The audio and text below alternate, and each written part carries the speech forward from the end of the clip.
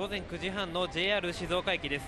乗車率100%を超えた自由席車内には通路にあふれるほどの人で混み合っています。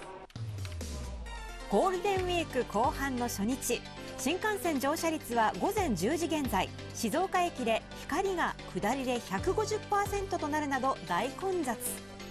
ホームはスーツケースなど大きな荷物を持った人で溢れ返りました。どこから来たんですか？兵庫県。兵庫県。三田市。今日な何する予定ですか？旅行。どどっかに行くんですか？うん。静岡に行く。うん日本平。な何か楽しみたいことあります？うんうなぎ食べに行く。ひつまぶし食べ。る何人かいらっしゃる？大阪から来ました。旅行ですあ旅行です。はい。静岡の自然というか夢の吊り橋とか巡ろうかなと思ってます。どのぐい、らいいらっしゃる？3日ぐらいですね。3泊あ3泊4日ではい。一番楽しみにしてるのは富士サファリパークですね。動物好きなんではい。一方で静岡から出かける人も。大阪に行きます。大阪でどんなこと楽しみたい？なんか海遊館とかあとなんかグルメとか楽しめたらなと思います。あとアナウンスで乗車率120%っていうのがあったので結構大変そうだなとは思ってます。横浜です。サッカーを見に行きますチームどこのチームですか？ジュビロ磐田ですやっぱり勝ちたいですえっと、熱海に行きます。まあ今日僕が誕生日なので、一緒にデートをする予定です。まあ、まず熱海城に行こうかなと思って、まああとはその辺りで施設を回ろうかなって思ってます。新幹線混んでそうですけどそうですね。まあでも僕、まあ体力ある方なんで、もう全然立っても大丈夫です。JR 東海によりますと今日は混雑のピークを過ぎたということですがこの後6日が再び混雑するとみられています。それではゴールデンウィークの各地のにぎわいの様子をヘリコプターからお伝えしたいと思います。島田市の上空に来ました大井川鉄道の新金谷駅が見えています。そして SL の姿も見えますね。今その蒸気が出ていてそして、えー慌ただしくこう人が動いていますけれども多くの観光客がこの SL に乗ろうと訪れているようです。今出発しました。えー SL が新金谷駅を出発しています。東名高速焼津インターの横にあるのは焼津魚センターです。駐車場にはたくさんの車止まっている様子がわかります。5年ぶりとなる焼津魚センター祭りが今日から5日まで開催されていて多くの観光客でにぎわっていました。今回はカツオフェアと銘打ちわら焼き体験や鰹節削り体験などのイベントがもう大盛り上がり。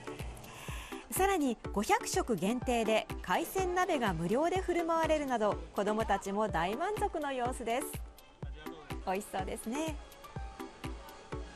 魚の出汁が効いてて美味しいです。とっても熱いけどすごい美味し一方高速道路では通行する車が多いせいか各地で衝突事故などが発生。東名高速道路の小笠パーキングエリア付近です。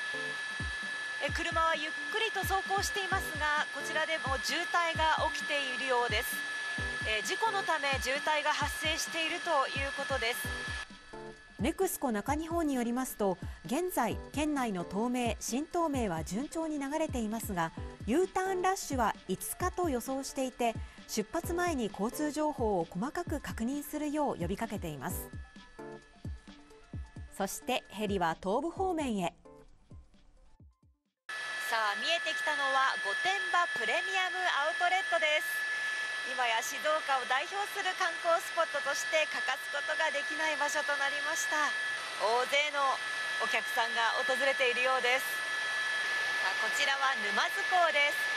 港にはたくさんの海鮮グルメスイーツのお店などもありまして観光名所ともなっていますがこのゴールデンウィークもたくさんの観光客が訪れています。熱海の親水公園にはたくさんの人が集まっています。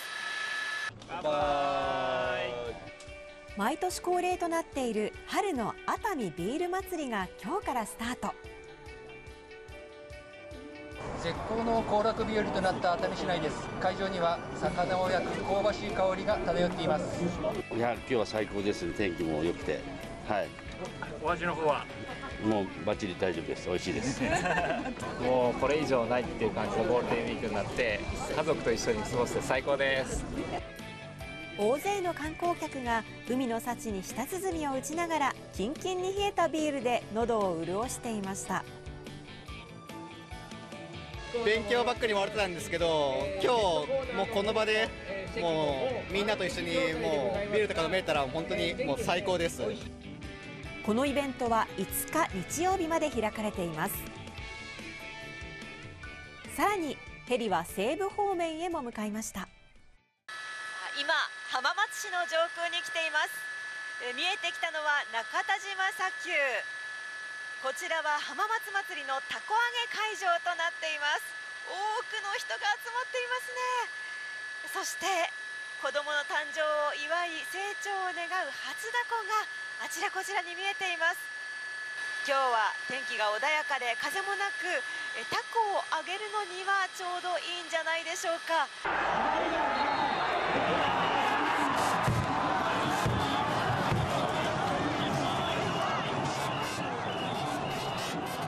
今日から始まった初日から快晴に恵まれました浜松祭りの会場です。今年は5年ぶりにお酒が解禁となりました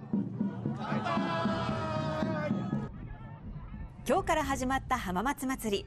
コロナ禍の4年間は中止や無観客での開催となりましたが今年は会場での飲酒も解禁され5年ぶりに制限なしの完全開催となりました。お祭りですからね。あの酒が入ってテンションも上がってあの余計やる気が出るんじゃないですか？フルでたのあの再現なく楽しめるということが一番何よりだと思いますので本当にあのこうやってお祝いができて嬉しいです。浜松祭りは400年以上前に浜松を治めていた城主が長男の誕生を祝って凧を揚げたことが始まりとされ初子の名前を入れた凧を揚げて盛大に祝います。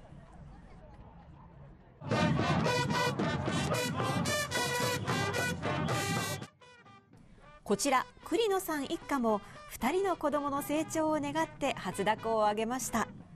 完全開催に戻る日を待ち望んでいたといいます。なかなかいつやろういつやろうって思ってたところで、まあ、ちょうどこの子も生まれて通常開催になったのですごい良かったですね。嬉しいです。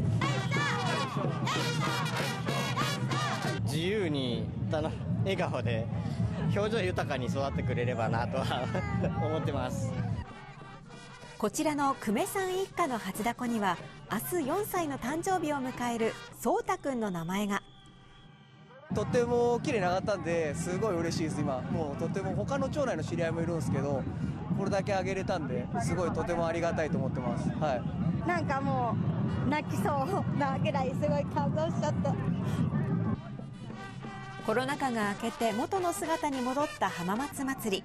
あさってまでの3日間浜松市内の各地でお祝いのラッパや掛け声が響き渡ります。